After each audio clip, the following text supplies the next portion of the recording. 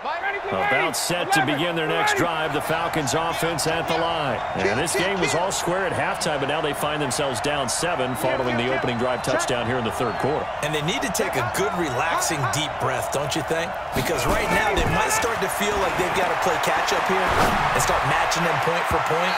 But it's still too early to get there. They can still run their offense, Plenty of time to get back in this game. Now here's a pass on first down that's knocked away and incomplete. Well, this is a good window right here, partner, to wish happy holidays to everybody out there in Madden land, and happy holidays to you and, and yours and as well. same to you. Merry Christmas, Happy Hanukkah, Happy Kwanzaa however you celebrate the holiday season. Yeah, by the way, speaking of, what is your favorite holiday song? Because I know in the elevator on the way up, we heard Feliz Navidad and you went into the fetal position. Yeah, yeah, unfortunately, I mean, I feel bad about that because, you know, it's a big hit and all, but it's not my favorite. Silver Bells, as done by Stevie Wonder. Oh, yeah. My favorite. That's classic. I'd have to go Burl Ives, have a holly jolly Christmas. Always puts me in a jolly mood. I love that because when we watch some of the Christmas specials, there's Burl Ives Ives is the narrator. Freeman again, a first down carry. And he'll get this up past the 45 to the 47. Just what you want on a first down run. Call it eight yards. And it's second and two. 61. Match box, On second down. It's Freeman, and he'll get it into enemy territory just across midfield at the 49. They'll get three as the drive continues. It's a first down. And now a 10th carry for Freeman. A good run there on first down, and it'll leave them with a second and two. Hey, when you get good yardage like that on first down, it really does a whole lot of good for your entire offense. But I love the way he's finishing those runs. At the end of things, he's making sure he gets just a little bit extra.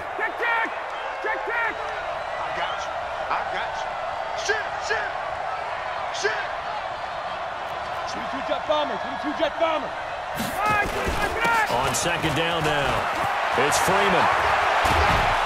And he gets it inside the 35 and just shy of the 30. It's a gain of 11, and the Falcons pick up the first. It's been an excellent day for him running the football, no doubt, as he continues to soar well past 100 yards. Yeah, it almost feels like he can just grab his briefcase and head home after putting in a full day's work at the office, doesn't it? And as they come to the line, they will not be able to get off another play as time has run out on this third quarter. We'll return with more after this. You're watching the NFL on EA Sports.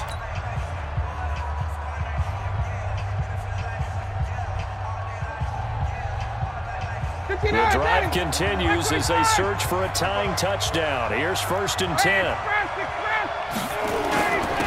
This is Freeman. He's got a first down and much more inside the 20. And he's going to get it down to the 14-yard line. 17 yards and a first down for Atlanta. Another carry for their leader and a good one. It's crunch time. They'll need him to continue to be productive in both the run and passing game in order for them to try and snatch victory. This is Freeman on first and 10. And he'll get this one down to about the 10-yard line. Give him three on first down. It'll set up a second and seven. He's had success on this drive, but not on this play. Finally, they bowed up defensively. I think they were determined not to let him take it pretty much all the way down the field. Yeah, it looks like they handled their run responsibilities correctly this time. What we call them run fits, everyone was in the right place. Two yards on the carry there, and it's going to lead them to third down. It's a gain of two yards. 20! On third down, Devonta Freeman. But he won't be close to a first down as he runs into a wall right around the line of scrimmage. Call it no gain there, and it leads to a fourth down. It's now fourth down.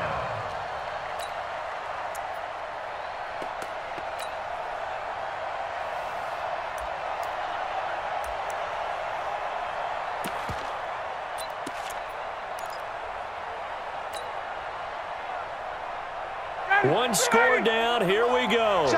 They're going to go for it here on fourth down.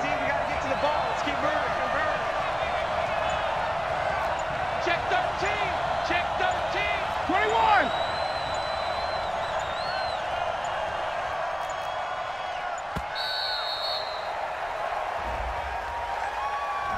And that'll set them back five.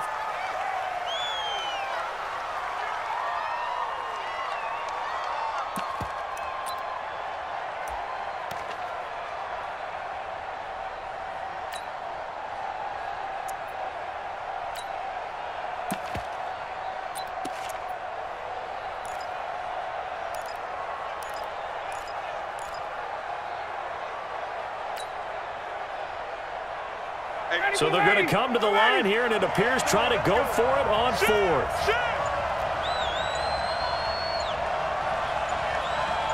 Check, check, check, check. And now again, the play clock's going to run out on him.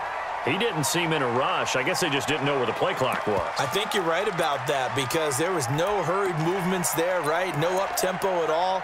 Clock just ran out. I think he was as surprised as maybe his bench was.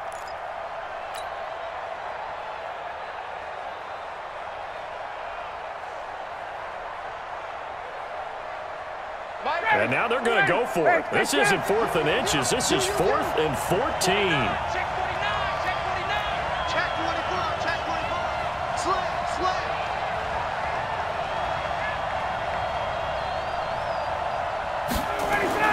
They're going on fourth down. It's Ryan. And that is incomplete. Dan Quinn's guys unable to come through there on fourth down. And this Texans defense stands tall.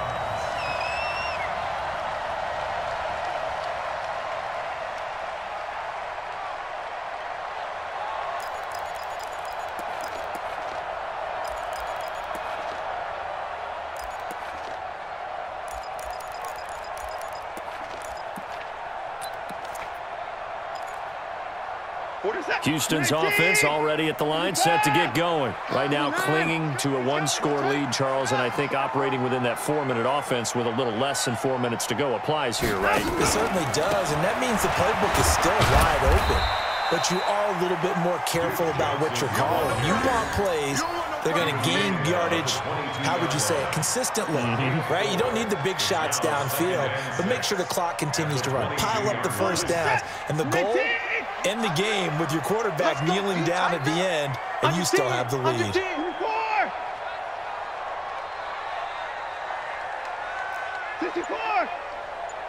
Check 45 the oh, check 45 the mic. And let's pin the mirrors back and go full strip. From the 22, Watson throwing middle, but it's incomplete. The Pro Bowler DeAndre Hopkins, the intended receiver, and it'll bring up third down. I know coaches tell us all the time that having a powerful arm isn't the number one thing they look for in a quarterback. But when you're trying to throw inside routes and you need to put some heat on it, it helps have the big gun. In this case, just a little bit too much.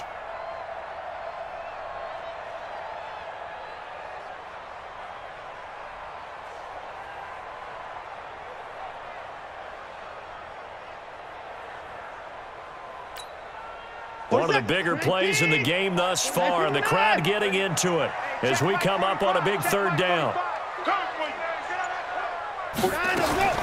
Here's Watson. Dancing to his left. He may try and run for this. And he'll be out of bounds across the 30-yard line. Deshaun Watson, so multi-dimensional, able to scramble for the first. Well, there you go. Save your best scramble of the day for a big-time situation in the fourth quarter, picking up the first. You don't want to use it up early, right? You want to make sure you save it for that exact moment, that key time. And that's what he did, although you and I both know it wasn't planned that way. But what a nice job using his eyes, scanning the field, and realizing when it was time to exit the pocket and go. 10 yards on the pickup there, and it'll be